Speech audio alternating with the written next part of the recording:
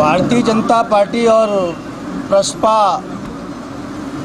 के नामांकन पत्रों में एक जैसा शपथ पत्र एक जैसी त्रुटि और जो आरओ के कक्ष में जो भारतीय जनता पार्टी के नुमाइंदे और प्रसपा के नुमाइंदों की जो आपस की कोऑर्डिनेशन थी, आपस की केमिस्ट्री थी, ऐसा लगता है कि भारतीय जनता पार्टी ने जानबूझकर अपने वफादार कार्यकर्ता की बलि देने के लिए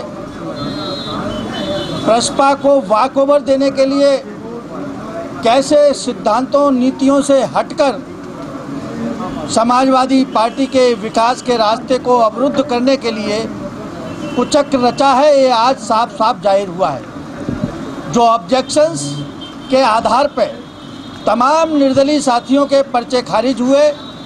सेम उसी आधार पर हमारी मांग थी कि प्रसपा और भारतीय जनता पार्टी के पर्चे शपथ पत्र के आधार पर खारिज होने चाहिए, लेकिन केंद्र और प्रदेश की नाकारा सरकार के दबाव में ये ऐसा संभव नहीं हुआ, लेकिन पूरी फिरोजाबाद लोकसभा की जनता आज मानसिक रूप से तैयार है कि भारतीय जनता पार्टी और प्रसपा की दोनों को हराकर निश्चित तौर से समाजवादी पार्टी को जिताने का मन बना चुकी है।